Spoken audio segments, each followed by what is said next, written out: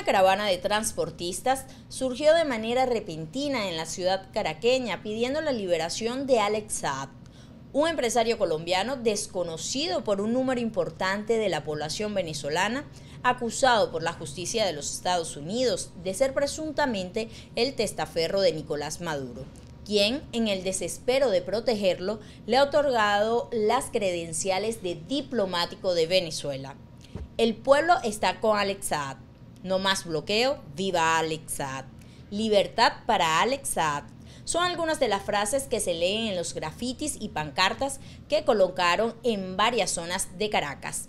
Si la mayoría del ciudadano común no conoce al empresario colombiano, ¿qué busca la administración de Nicolás Maduro de despertar en la opinión pública? Mira, yo creo que es importante que nosotros analicemos cómo eh, quienes ostentan el poder en Venezuela califican a los terroristas de hombres de bien. Esto que está ocurriendo con este personaje Saab no es otra cosa que buscar lavarle el rostro frente a la opinión pública de un personaje que forma parte, atención con lo que voy a decir en este momento, de la cantera de financistas de la internacionalización de estos grupos terroristas de la América. Para el psicólogo Daniel Gil, especialista en psicología social, lo que busca la administración de Nicolás Maduro es incidir en la figura internacional de Alex Saad como diplomático de Venezuela a través de una campaña de victimización. Lo primero que quiero decir en torno al graffiti es que es un medio de comunicación política bastante extendido y de larguísima data que tiene una característica fundamental, que es su informalidad. Esto puede tener este, la lectura de que lo que quieren es posicionar a este personaje como un diplomático y con ello tratar de incidir o influir en lo que serían las autoridades judiciales del gobierno de Cabo Verde en el caso de extradición hacia los Estados Unidos que ellos están estudiando. Y digamos que si no nos sale bien, sería el inicio de la campaña de victimización y martirización del el compañero Alex Saab. Alex fue detenido el 12 de junio de 2020 en la isla de Cabo Verde por un supuesto blanqueo de capitales que supera los 350 millones de dólares, hecho que sustenta la solicitud de extradición de Estados Unidos. Recientemente, el empresario colombiano respondió a una entrevista desde su prisión domiciliaria en la isla, asegurando que fue en Venezuela donde pude establecer mis más grandes iniciativas empresariales y hacerlas prosperar con una magnitud en la que marcó la diferencia.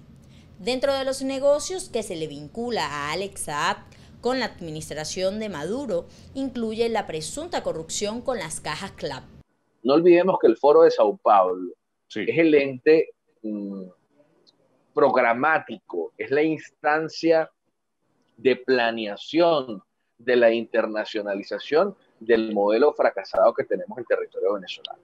Todo este proceso de protestas, de vandalismo que se ha venido gestando donde no está gobernando la izquierda en Sudamérica, ha sido financiado por estos personajes que forman parte de un clan de actividades ligadas con el narcotráfico, con el microtráfico, con la extracción de oro, de coltán, de diamante de Venezuela y obviamente de otros países que terminan configurando, bueno, eh, un rostro de, de Robin Hood. La extradición de Al-Assad a los Estados Unidos continúa a la expectativa de la decisión de la Corte Suprema de Justicia de Cabo Verde.